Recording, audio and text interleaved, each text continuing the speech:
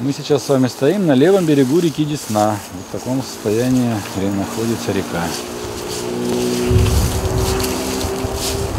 Вопрос расчистки русла реки на особом контроле у Комитета областной думы по проблемам последствий Чернобыльской катастрофы и экологии.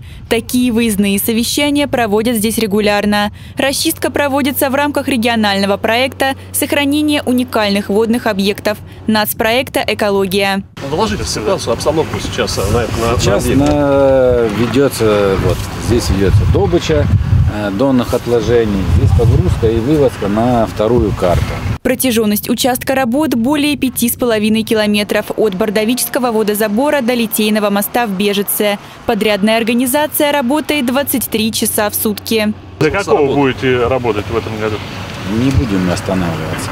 Думаете вообще пойти до Да. Ливингстона? Да, и будет мороз, остановится земснаряд, но будут работать экскаваторы. Не будет мороза, будет работать земснаряд, может быть остановятся экскаваторы. Закончить расчистку русла планируют к 2022 году. Стартовали работы в 2020. Тогда на эти цели направили более 5 миллионов рублей.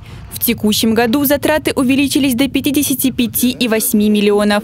Более 27 миллионов предусмотрено на финальный 2022. По первым участкам, которые мы видели там, да, то есть у нас работает земснаряд, который намывает где-то в сутки полторы тысячи метров кубических.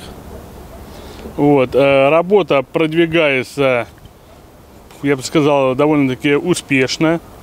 Также дальше мы видим, да, что работают эскаваторы, техника работает, уже более сотни тысяч намыто. В ближайшее время где-то э, городская администрация начнет уже забирать отложения. На настоящий момент общий объем добытых донных отложений свыше 170 тысяч кубометров. В дальнейшем их используют муниципальные предприятия ЖКХ для благоустройства областного центра. Есть планы э, их использовать на Флотской для строек После расчистки русла улучшится пропускная способность всей Десны, повысится ее санитарно-экологическое состояние. Прибрежная территория станет более привлекательной и будет пользоваться популярностью у местных жителей. Александра Савельева, Александр Жучков. События. Брянск.